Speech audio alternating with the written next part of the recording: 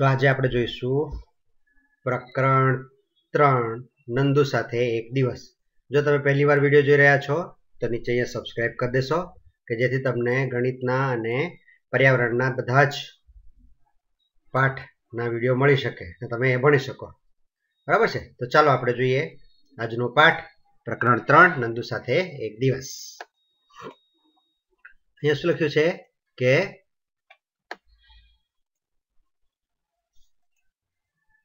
નંદુ હાથીનું બચ્ચું છે. તે સૂતું હતું. અચાનક તે જાગ્યું. ખબર જ ન પડી તે ક્યાં છે. તેને લાગ્યું એ તો મોટા મોટા જાડા જાડા વૃક્ષોના થડથી ઘેરાયું છે. એ તો મૂંઝાયું. અરે!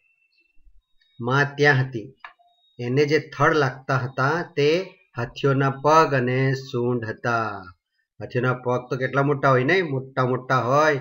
અને એની સૂંઢ બી કેટલી મોટી હોય. તો કેવું લાગે? હા? ઝાડના મોટા મોટા થડ હોય ઊંઘી ગયેલું હોય બચ્ચું, તો કેવું લાગે? ઓહો, મોટા મોટા ઝાડના થડ છે. બરાબર છે? એવું લાગ્યું. હવે પછી નંદુના નાની હાથીના ટોળામાં સૌથી ગરડા હતા. બપોર થઈ, એમણે સિંગાડ નાખી અને જંગલમાં જવાનું ચાલુ કર્યું. બીજી હાથણીઓ તેમની પાછળ ચાલી, નંદુ પણ સાથે ચાલ્યો. નાની એટલે કોણ? તો મમ્મીના, મમ્મીને કોણ શું કહેવાય? નાની કહેવાય. આપણી મમ્મીના મમ્મી હોય તેને નાની કહેવાય. તેવી રીતે આનંદુના જે મમ્મી હતા એના મમ્મી એ હાથીના ટોળામાં સૌથી ગરડા એટલે એકદમ ઉંમરવાળા હતા. બરાબર છે? પછી એણે શું કર્યું? બપોરે, બપોર થઈ એટલે ચિંગાડ નાખી એટલે જોરથી અવાજ કર્યો. જોરમાં અવાજ કરે ને તેવો અવાજ કર્યો. અને પછી જંગલમાં ચાલવાનું શરૂ કર્યું. અને બીજી હાથણીઓ એટલે કે બીજા બધા હાથીની મમ્મીઓ પણ સાથે એમની પાછળ જવા માંડી. નંદુ પણ તેમની પાછળ ચાલ્યો. ટોળું જંગલમાં ગયું. બધી હાથણીઓ જુદી જુદી જગ્યાએ ગઈ. જુદા જુદા ઝાડના પાન અને ડાળીઓ ખાવા લાગી. એ લોકો શું ખાય? ઝાડના પાંદડા અને ડાળીઓ. આ હાથીઓ ને તે ખાય. બરાબર છે? તો એ લોકો જુદી જુદી જગ્યાએ ગઈ અને પછી ખાવા લાગી. પછી બધા નદીએ ગયા. બચ્ચાને તો પાણીમાં મજા જ આવી ગઈ. નંદુની માં પાણી અને કાદવમાં પડી રહી. એ લોકો તો થોડીક વાર સુધી કાદવમાં અને પાણીમાં પડી રહે. ઠંડક ઠંડક લાગે ને? શું તમે જાણો છો? એક પુખ્ત હાથી એક દિવસમાં સો કિલોગ્રામ કરતા, અરે બાપરે! વધુ પર્ણો, ડાળીઓ વગેરે ખાઈ શકે છે. પર્ણો એટલે પાંદડા અને ડાળીઓ વધુ, ખાઈ શકે છે. બરાબર છે? હાથીઓ બહુ આરામ કરતા નથી. તેઓ દિવસમાં ફક્ત બેથી ચાર કલાક જ સૂવે છે. હાથીઓને કાદવ અને પાણીમાં રમવું ખૂબ ગમે છે. કાદવ તેમની ચામડીને ઠંડક આપે છે. તેમના મોટા કાન પંખા જેવું કામ કરે છે.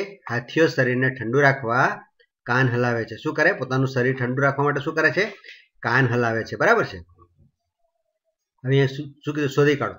નંદુ ફક્ત ત્રણ મહિનાનો જ છે, પરંતુ તેનું વજન બસો કિલોગ્રામ છે. તમારું વજન કેટલું છે? આપણે જો ચોથા ધોરણમાં ભણીએ ને, તો આપણું વજન કેટલું હોય ખબર છે આશરે? માપી જોજો તમે. કોઈ વાર કોઈ જગ્યાએ વજન કાંટો હોય ને, કોઈ વાર દવાખાને ગયા હોય તો ત્યાં વજન કાંટો મોકલો હોય છે. પછી અલગ અલગ બીજી જગ્યાએ પણ વજન કાંટો મોકલે. તમારે વજન કરી જોવાનું. કેટલું વજન છે? તો ચોથા ધોરણવાળા છોકરાનું વજન છે ને, તો વીસ કિલો જેવું હોય છે. તો અહીંયા શું છે મારું વજન વીસ કિલોગ્રામ છે એવું લખવાનું બરાબર છે? તમારે તમારું વજન લખવાનું બરાબર? સારું. તમે શોધો કે તમારા જેવા કેટલા બાળકોનું વજન ભેગું કરીએ તો નંદુના વજન જેટલું થશે. નંદુનું વજન તો કેટલું હતું? તો બસો કિલોગ્રામ હતું. તો બસો કિલોગ્રામ કેવી કેટલી કેવી રીતે થાય? તો વીસને આપણે દસ વડે ગુણીએ તો વીસે દાન બસો વીસના એકાના ઘડિયા બોલેલા હોય ને તો આવડતા હોય ને તો આવડી જાય તમને. વીસે દાન બસો એટલે કે તો શું થાય? વીસ ગુણ્યા દસ બરાબર બસો કિલોગ્રામ. આથી મારા જેવા દસ બાળકોનું વજન નંદુના વજન જેટલું થશે. કેટલા બાળકો? દસ બાળકોના જેટલું વજન નંદુના વજન જેટલું થશે. બરાબર છે? હવે અહીંયા શું કહે છે, રમત અને મજા. પાણીમાં રમવાની તો બહુ મજા આવે કે આપણે? પણ જો ગમે ત્યાં ઊંડા પાણીમાં ઉતરી નહીં જવાનું, બરાબર? નહીં તો ઊંડું પાણી હોય તો ડૂબી જવાય. એટલે આપણને ખબર હોય તો જ આપણે ત્યાં નવા જવાનું, હા ને? રમત અને મજા. નંદુએ તેના ભાઈઓ અને બહેનોને એકબીજાની પૂછડીઓ ખેંચતા જોયા. તેમણે વિચાર્યું, સારું રહેશે કે હું તેમની નજીક ના જાઉં. જો તેઓ મારી પર પડે તો શું થાય? હું હજુ નાનો છું. તે શાંતિથી તેની માતા પાસે ગયો અને રહ્યો. બરાબર, એના કોણ હતા? ભાઈ બહેનો હતા. એ લોકો પાણીમાં રમતા હતા, પાણી એકબીજા પર ઉડાડે, પછી એની પૂંછડી ખેંચે અને એવું બધું કરે કે મસ્તી કરે ને? હા, બધા એકબીજા સાથે બધા ભાઈ બહેનો ભેગા થાય, મિત્રો ભેગા થાય, તો બહુ મસ્તી કરે ને? તમે પણ કરો છો ને? હા તેવું અહીંયા પણ આ લોકો કરતા હતા. માએ નંદુને ધીમેથી પાણી તરફ ધકેલ્યો. જાણે કે તે કહેતી હોય કે પાણીમાં રમવા જા. જા, મિત્રો સાથે પાણીમાં રમવા જા. નંદુને પાણીમાં રમવું ખૂબ જ ગમે છે. તેના પિતરાઈ ભાઈઓ પહેલેથી જ ત્યાં હતા. એના ભાઈઓ પિતરાઈ ભાઈઓ, લોકો ત્યાં જ હતા. હજુ એ ત્યાં પહોંચ્યો. એક સખત પાણીનો ફુવારો તેના માથે, સખત પાણીનો ફુવારો તેના માથે પડ્યો. તે ભીનો થઈ ગયો. અરે, એ તેના ધમાલિયા પિતરાઈ ભાનું કામ હતું. નંદુ પણ તેમની સાથે રમવામાં જોડાયો. અંદર ગયો ને તો આજ આવી તો પાણી રેડી દીધું નંદુ પર. ભૂર કરી ફુવારો નાખી દીધો છે ને? હા, કોણે નાખ્યો? એના પિતરાઈ ભાઈ હતો ને તેણે નાખી દીધો. બરાબર ને? પછી તો એ બળ લોકો સાથે રમવામાં જોડાયો, એકબીજા પર પાણી નાખવા માંડ્યા બરાબર ને? તો પછી સૂર્યાસ્ત પછી ટોળું રહેઠાણ તરફ જવા લાગ્યું. બધા હતા તે સૂર્યાસ્ત એટલે કે સૂર્ય અસ્ત થઈ ગયો, ડૂબી ગયો સૂરજ. પછી એ લોકો એ લોકોનું ઘર બાજુ હતું, તે બાજુ જવા લાગ્યા. ત્યાં પહોંચતા જ સુધીમાં નંદુ ખૂબ જ થાકી ગયો. ઓહો, બહાર ગયેલા એટલે થાકી જવાય ને.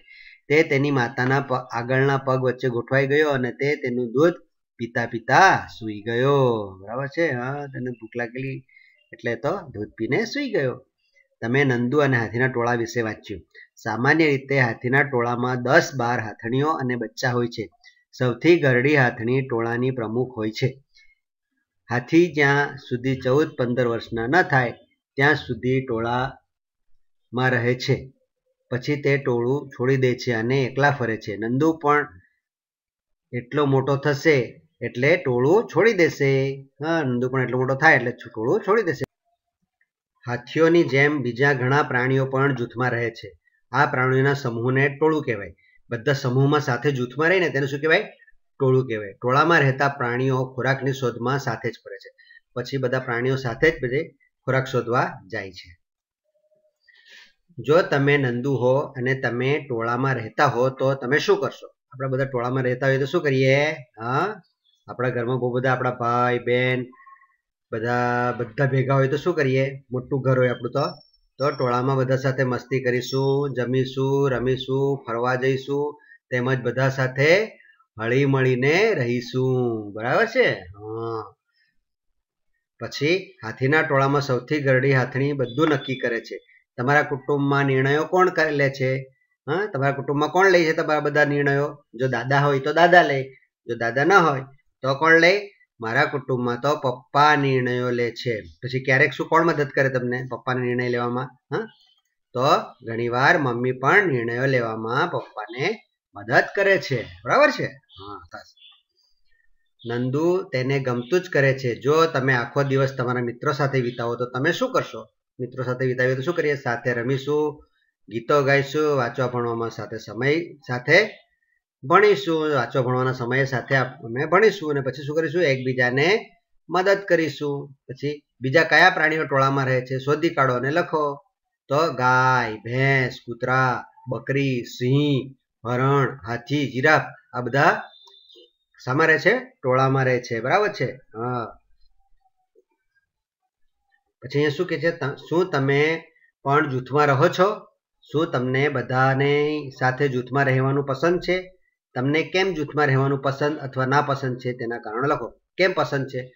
તો કે સાથે રમી શકાય, પછી એકબીજાના કામમાં મદદ કરી શકાય, પછી એકલા રહેવાની ચિંતા નહીં. હા, ઘરે એકલા જ રહેવાની ચિંતા નહીં, બધા સાથે હોય, પપ્પા મમ્મી કશે જવાના હોય, તો આપણને એકલા રહેવાની ચિંતા નહીં થાય ને? પછી, હા, એટલે એકલી એકલા રહેવાની આપણને કોઈ ચિંતા નહીં, એટલે બધા આપણે જૂથ, જૂથમાં રહીએ, ઘરમાં રહીએ તો આપણને બહુ મજા આવે. બરાબર છે? હા, સરસ સરસ. પછી આપણે જો જૂથમાં આપણે મિત્રો સાથે રહેતા હોય તો પણ બહુ મજા આવે ને. એકબીજા સાથે ધમાલ કરવાની પણ મજા આવે. પછી એકબીજાના ડબ્બા ખોલીને ખાવાની પણ મજા આવે. બરાબર ને? હા. ચાલો પછી. મને કેમ ના પસંદ છે? તો ઘર મોટું જોઈએ. પછી જમવાનું બનાવતા વાર લાગે મમ્મીને. બરાબર, વાર લાગે ને? બધા જણાનું જમવાનું બનાવવાનું હોય. પછી બહાર ફરવા જવા મોટું વાહન જોઈએ. બરાબર? પછી મિત્રો સાથે હોઈએ તો શું? આપણા ડબ્બો બીજા બધી બી ખાઈ જાય ને? એવું બી થાય ને? હા, એટલે નહીં પસંદ થાય પડે પછી. બરાબર? હા, આપણી પાસે કઈ સારી વસ્તુ હોય તો બાગી લે. એવું બી થાય. હા ને? એટલે પસંદ ના થાય. હા, નવા ધોવામાં બી મુશ્કેલી પડે. હા, બહુ બધા જણા રહેતા હોય ને ઘરે તો. એવું થાય. તમે બીજા કયા પ્રાણીની સવારી કરી છે? તેના નામ લખો. આપણે કયા પ્રાણીની? તો ઘોડા પર સવારી કરીએ, કરાય છે. હા બાગમાં જઈએ ને, અથવા હિલ સ્ટેશન પર જઈએ, સાપુતારા જ ગયેલા હોય કે ઊંચા ઊંચા સ્થળો પર કે પછી દરિયા કિનારે ગયા હોય ત્યાં, આપણને પ્રાણીઓની સવારી કરવા મળે છે. ઘોડા પર, ઊંટ પર, પછી હાથી પર બેસવાનું મળે છે. બરાબર છે ને? જો તમને હાથી પર બેસાડવામાં આવે તો તમને કેવું લાગે? હાથી પર બેસવાની મજા તો આવે, પણ સાથે સાથે આમ હાલક ડોલક થાય તો પડી જવાની બીક બી લાગે. હાથી પર દૂર સુધી હાલક ડોલક થતા જવાની પાછી મજા બી આવે. બરાબર? એમ બરાબર ગોઠવેલો હોય ને? ઉપર બેસવાનું તો આપણને બહુ મજા આવે. બાકી તો બીક લાગે, ને? હા. તમારી આસપાસ ઘણા બધા પ્રાણીઓ જોયા છે પુસ્તકમાં, ટેલિવિઝનમાં, એકલા જૂથમાં જોયા છે તેમના કોઈ પણ એક પ્રાણી વિશે જાણી લાવો અને લખો. આપણે તો જોયેલા છે બહુ બધા જૂથમાં રહેતા. તો આપણે ગાય, તો ગાય દૂધ આપે છે. ગાયના દૂધમાંથી દહીં અને ઘી બને છે. ગાયનું ઘી ઘણું પૌષ્ટિક હોય છે. ગાયના છાણમાંથી ખાતર બને છે. ગાયના મૂત્ર એટલે કે પેશાબનો આયુર્વેદમાં પણ ઉપયોગ થાય છે. બરાબર છે? તો આવી રીતે તમારે લખી દેવું. પછી, બગલો ભેંસ પર શા માટે બેઠો છે? આ બગલો છે ને ભેંસ પર બેઠો છે. શા માટે બેઠો છે? તો બગલો ભેંસના શરીર પરના નાના જીવડા ખાવા માટે બેઠો છે.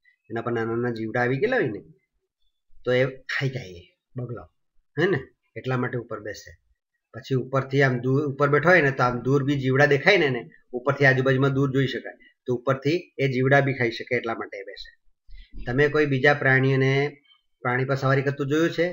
જો પ્રાણી જે સવારી કરે છે, તો કૂતરો, કોઈ કઈ વાર છે ને, કૂતરો છે ને, કોની પર ભેંસ પર બેસી ગયેલો હોય, ભેંસ નીચે બેઠેલી હોય તો, પછી બળદ પર બેસી ગયેલો હોય તો, જે પ્રાણી સવારી કરાવે છે તો, બળદ પર બેસી જાય છે. બરાબર છે? કયા પ્રાણીઓને આપણે સવારી માટે ઉપયોગ કરીએ છીએ? કયા કયાને આપણે ઉપયોગ કરીએ છીએ? તો કે ઘોડો, ઊંટ, હાથી, બરાબર? એનો આપણે સવારી માટે ઉપયોગ કરીએ છીએ. ભાર ખેંચવા અને વજન ઉચકવા કયા પ્રાણીઓનો ઉપયોગ થાય છે? તો ભાર ખેંચવા માટે બળદ, ગધેડો, હાથી, ઊંટ, યાક, એ બધાનો ભાર ખેંચવા માટે, પછી વજન ઉચકવા માટે આ પ્રાણીઓનો ઉપયોગ થાય છે. હવે તમારી જાતે હાથી બનાવો જો અહીંયા હાથી કેવી રીતે બનાવવાનો ને? તે લખ્યું છે કે કાગળ લેવાનો ને એને જાડો કાગળ લેવાનો. બરાબર છે? પછી આ કાપવાનું કીધું છે ને તો અહીંથી આવી પહેલાં દોરી કાઢવાનું આવી રીતે આખું. એની પર જાડા કાગળ પર પૂઠા પર આવી રીતે દોરી કાઢવાનો હાથી બરાબર? પછી શું કરવાનું? અહીંથી કાપવાનું કીધું કાપવાનું. પછી આ ટપકાવાળી લાઈન છે ને, ત્યાંથી વાળવાનું છે. બરાબર? પછી અહીંથી અહીંથી કાપવાનું. પણ વધારે કપાઈની જે તે ધ્યાન રાખવાનું, હો. પછી એક પૂંછડી કાપી લેવાની પૂઠામાંથી પછી અહીંયા લગાડી દેવાની.